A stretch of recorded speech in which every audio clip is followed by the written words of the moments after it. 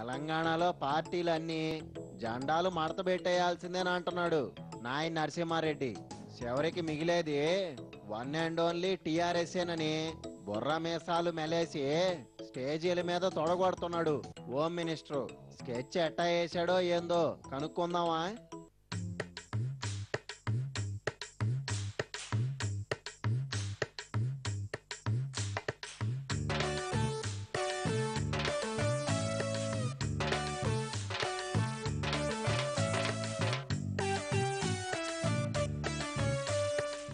అల్లో నాయని మీ కండువాల ప్రోగ్రాం చూస్తుంటే మొగల్ రేకుల్ సీరియల్ చూస్తున్నట్టే ఉంది.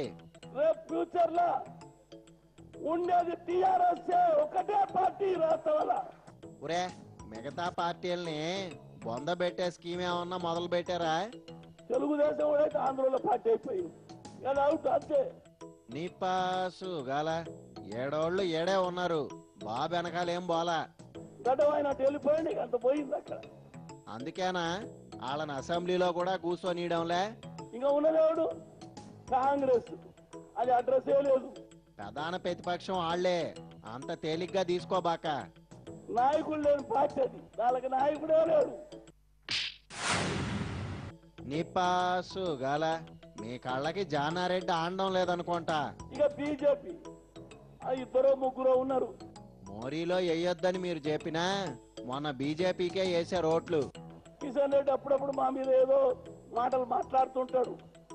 వాళ్ళు ఆల్టర్నేటివ్ కాలేరు ఇక్కడ? కేంద్రంలో ఆళ్ళదే పవరు. కాస్త వెనక ముందు చూసుకోండి.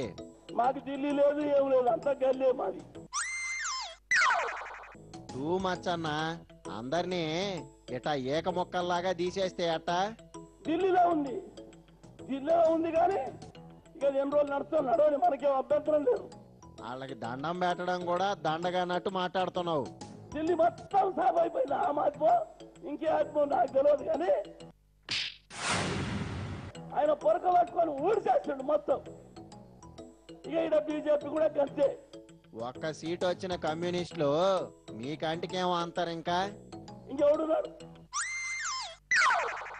ఎవరు మిగల్లా. అందరినీ మాటలతోనే వేసేసావు. ఉన్నది టీఆర్ఎస్ కేసీఆర్.